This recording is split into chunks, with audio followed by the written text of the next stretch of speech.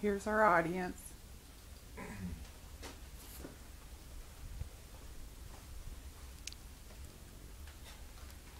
Today I'm going to inform you why I believe uh, 3800 series uh, engines in the Buicks and GMs are one of the best engines ever made.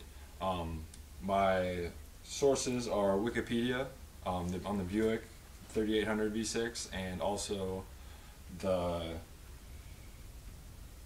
Ward's Engines 10 Best Awards on Wikipedia.com um, for my references.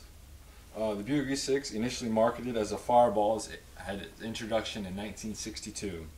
Uh, it was a large V6 used by General Motors. Uh, General Motors makes GMCs, Buicks, Chevys, and Cadillacs, numerous others. Um, the block is made of cast iron and um, has a two, two valve per cylinder uh, iron heads attached by push rods. Uh, the engine was produced in a plant in North Flint, Michigan.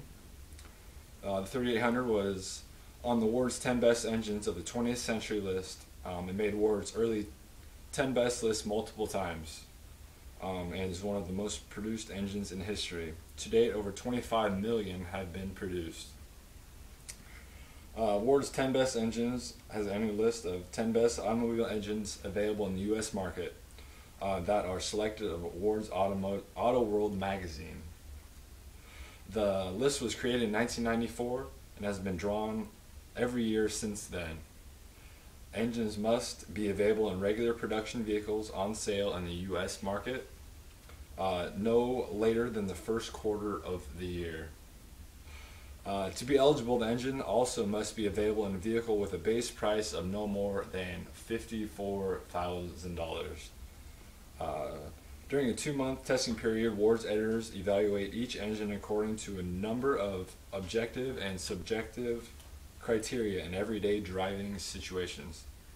Uh, there is no instrumental testing. The selection takes into account power and torque output, uh, noise, vibration, and harshness levels, technical relevance, and basic comparative numbers. Each engine, engine competes against all others. Um, and get back to the Buick, uh, or the Series 1 engine, the 3800. Um, the first, the the Series One, um, that's a definition. It's a newer version of the first original. Was introduced in 1962, but the the Series One was introduced in 1988. Uh, it is uh, multi-port fuel injection. It was a major redesign. Uh, no more, no more carburation. Redesigned uh, fuel injection. This generation continued to use in several GM productions into the 1990s. Uh, it produced 165 horsepower and 210 foot-pounds of torque. Uh, there was also a supercharged engine which produces more power. The engine went through many internal changes and the horsepower changes rapidly between the time it was introduced and the time the Series 2 was introduced. Uh, the supercharger is an M62 supercharger. It was manufactured by Eaton uh, supercharger company, um, other outside of General Motors that produce the engine. Horsepower is rated at 205 from 1991 to through 1992. Um, engine models may vary. They put them in all kinds of GM vehicles, uh, Pontiacs, Buicks, all kinds. Uh, the Series 2 is in my that I have in my own personal car, my 98 Buick Park Avenue. Uh, this Series 2 engine was introduced in 1995. The Series 2 is quite a different engine. Uh, although the stroke for the 3.8 liter engine remained at 3.2 inches and the bore remained at 3.8 inches, the engine arch architecture was vastly changed. The deck height is shorter than the Series 1, reducing weight and total engine package size. Requ this required that the piston connecting rods be shortened 1 inch and the crankshaft was also redesigned.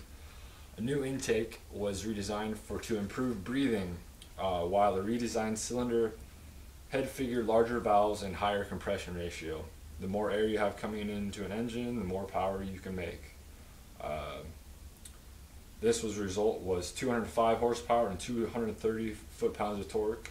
better fuel economy, and 26 pounds lighter than the Series 1 engine. Uh, the new intake manifold, as I said, and improved airflow uh, to meet emission standards. Emissions for uh, so the they can sell them in the U.S. market to not pollute the air as much. Uh, the uh, Series 2 is, uh, had a supercharged version also. Um, it's called the L67 motor. That's in my car. The version of the Series 2 is appeared in 1996, one year after the normally aspirated version did. Um, this uses a larger throttle body, fuel injection, fuel injectors, cylinder heads, and lower intake manifold than the L36 uses. Both engines share the same block. Horsepower is up from 205 to 240, and torque from 230 to 280 foot-pounds. Um, the Series 3 engine, which is a newer version than mine,